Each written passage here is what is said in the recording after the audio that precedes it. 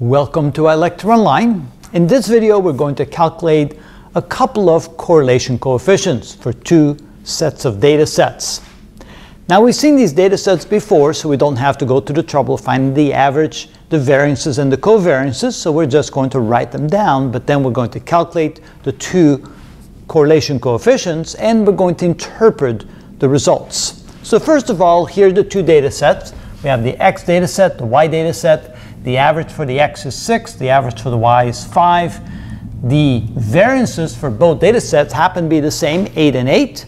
And the covariance between the two data sets is 0.8. And we already have a feeling, since it's a very small number, that there's probably not a good correlation between the two data sets. But when we calculate the correlation coefficient, we have a very good way of looking at it. Remember that the correlation coefficient is always going to be somewhere between negative 1 and 1. If it's close to negative 1 or 1, then there's a very strong relationship between the two. Here, the trend will be the same. There, the trend will be opposite, but the opposite trend will be very similar. And if it's a number much closer to zero, then there's not much of a correlation between the two data sets. So let's go ahead and calculate the first one. So we take the covariance, which is 0.8, and we're going to divide that by the square root of the variance for x, which is going to be 8, and the square root of the variance of y, which is also going to be 8. So let's see what that's equal to. So first of all, we take the square root of 8, we multiply, oh, ac actually with square it, right? So the square root of 8, so that would be um, 8, take the square root times the square root of 8. That means that this gives us 0.8 divided by 8, which is equal to 0.1. Now notice the correlation coefficient, R, is very close to 0, which means there's essentially no correlation or very little correlation between the two, two data sets. You can see that one is steadily increasing by twos, 2, 4, 6, 8, 10. The other one is kind of a random number, a random set of numbers. High, low, medium, low, high. So it doesn't look like there's a trend where the numbers are increasing or decreasing. It's hard to tell. So you have one data set with a very distinguishable trend, the other data set which seemed like a random set of numbers, so you wouldn't expect a lot of correlation between the two. And the result being 0.1 means, yes indeed, very small correlation between the two numbers. Now the covariance between the two data sets being a small number relative to the variances also gave you already a preview or kind of an indication that there's not a lot of correlation between the two.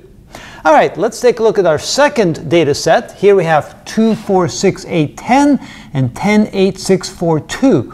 So you see that one is increasing, the other one is decreasing. So you would expect a negative covariance, and sure enough, we end up with a negative 8 for the covariance. If you want to see how that's calculated, we did that already on some previous videos. But now let's calculate the correlation coefficient relative to these two data sets. So we have the covariance, which is negative 8, divided by the square root of the variance in x, which is 8, and the square root of the variance in y, which is also 8. Of course, the denominator here will be 8. Negative 8 divided by 8. That means that the correlation coefficient is negative 1.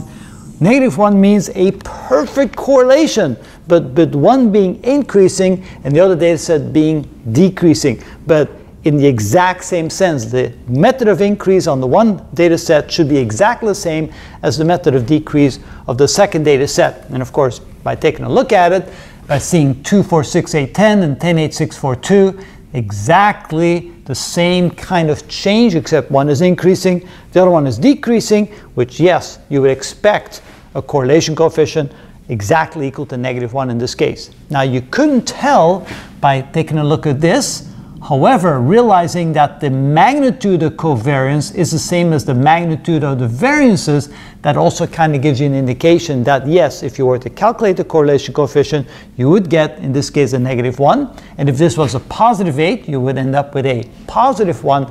Very, very strong correlation.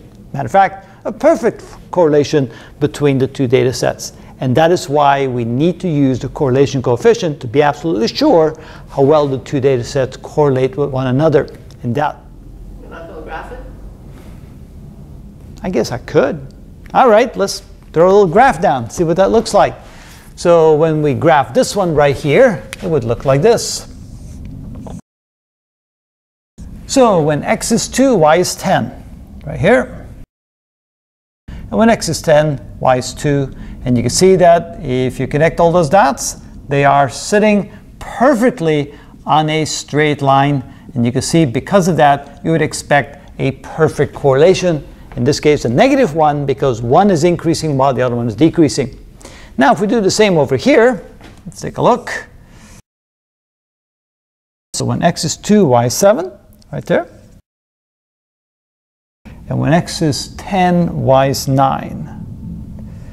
And notice there's no way that I can draw a line through these dots and have them all close together to one another. Or I shouldn't say it that way. I said there's no way that I can draw a straight line and have all the points close to that straight line. For example, if I draw a line like this, then these three points are far away from the line. If I draw a line like this, then those points are far from the line. If I draw a line like this, then these two points are far from the line. So since I cannot draw a straight line where all five points are close to the line, there's not going to be a strong correlation between the two data sets.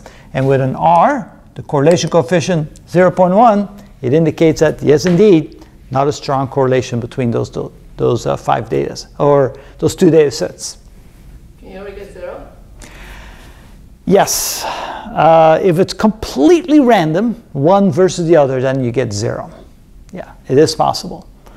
Um, yeah, it needs to be a little bit more random than, than that to get a zero. But yes, you can get a zero. Okay.